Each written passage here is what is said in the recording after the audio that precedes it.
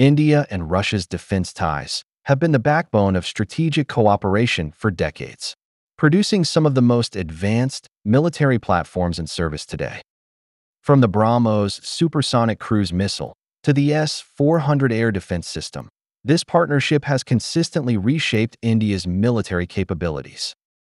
Now, in a major development, India is exploring the acquisition of the S-500, one of the world's most advanced air defense systems, through a government-to-government G2G deal with Moscow.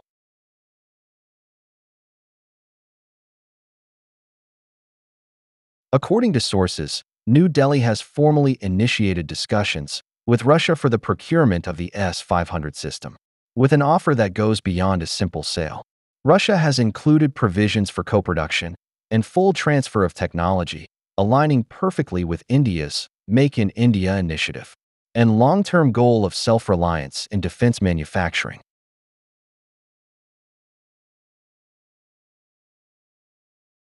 Developed by Almaz-Antey, the S-500 is designed to counter an extensive spectrum of aerial and space threats, from stealth fighters like the F-22 and F-35 to hypersonic missiles, UAVs, ICBMs, and even low Earth orbit satellites. With an interception range of up to 600 kilometers and altitude coverage reaching 200 kilometers, it significantly outperforms the S-400 currently operated by India.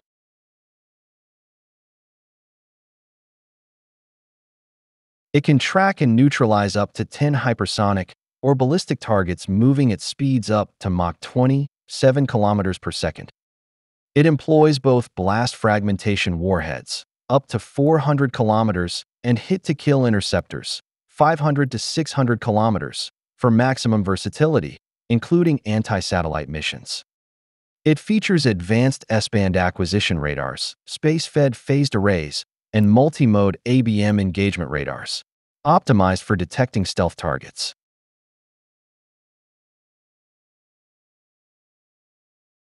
India currently operates five S-400 batteries, which proved critical during Operation Sindoor 2025 in countering aerial threats from Pakistan and China. The addition of the S-500 would mark a quantum leap in India's air defense shield, providing coverage against emerging hypersonic and space-based threats.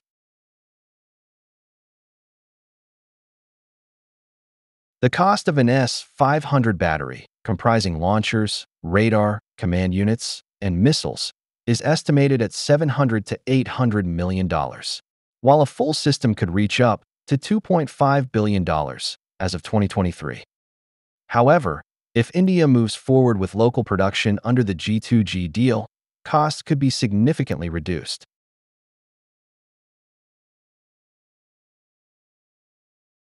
The potential collaboration would involve Indian defense organizations, such as BL and DRDO, fostering indigenous research, technology access, job creation, and a stronger domestic defense ecosystem.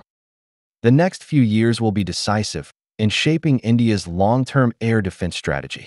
Should the G2G negotiations succeed, India would not only gain one of the most advanced missile defense systems in the world, but also strengthen its role as a defense manufacturing hub.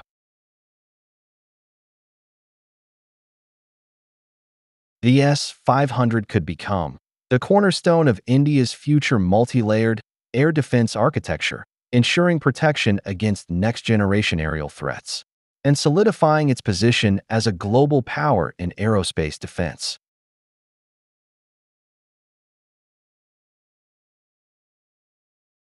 Thanks for watching.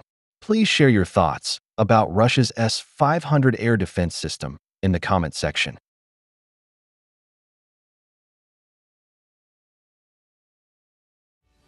Introducing Jetline Marvel's first ever aircraft encyclopedia a must-have for aviation enthusiasts. Dive into a world filled with stunning images and fascinating details about the most iconic commercial and fighter aircraft. Explore the skies from the comfort of your home with this exciting collection. Now available on Amazon.